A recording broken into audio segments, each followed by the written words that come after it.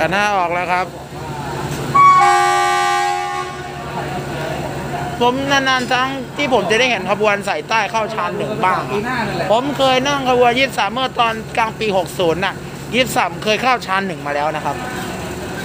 ยี่สามเนี่ยนะเข้าชันใช่ครับ ผมถ่ายคลิปไว้อยู่ครับเมื่อปี 60โอ้โหช่องไหนเนี่ยช่องผมนี่แหละครับชื่อชื่อชื่อผมบันทึกคลิปผมทำคลิป ผมเริ่มจริงจังแต่ตอน 58 แล้วผมก็ ดูหลายช่อง พัฒนาเรื่อยๆ แล้วผมตั้งแต่อาวุธหลังๆว่าดูดูอุปกรณ์ต่างหลักๆ ดูพี่ปุ้ย ๆ อย่าอย่าอย่าอย่าอันนี้อันนี้อย่าพูดอย่าพูดซื้อในนี้ผมกำลังถ่ายคลิปอยู่ อย่าพูดในนี้ครับกำลังถ่ายคลิปอยู่ เนี่ยเดี๋ยวจะให้ดูเนี่ยตอนตอนนั้นผมถ่ายคลิปขบวนยี่สามเข้าบางซื่อชัดมันเข้าชันหนึ่งบางซื่อครั้งหนึ่งอยู่อันนี้ช่องไหนนะช่องผมนี่แหละ อันนี้เป็นวิลิตชุด เดี๋ยวดูให้มันมี มันมีอยู่ อ้าวขบวนเนี่ยนี่ยี่สามสี่ห้าสองสองเข้าบางซื่อชั้นหนึ่ง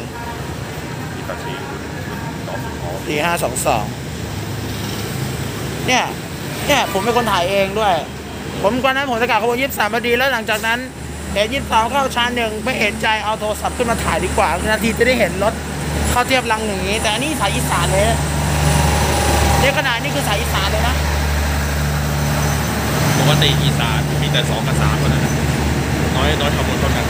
น้อยมากครับอันนี้โอกาสน้อยมากขนาดผมถ่ายคลิปอันนี้ผมยังคนลุกเลย ตอนนั้นอะปีหกศูนย์อะพี่ตาชีน้องสุดท้องยังไม่สู้พี่ตาชีและไอเทมเบอร์อะไรครับสี่ห้าหนึ่งหกโอ้ยวันนี้ครับผมผมกลับไปคำนี้ครับ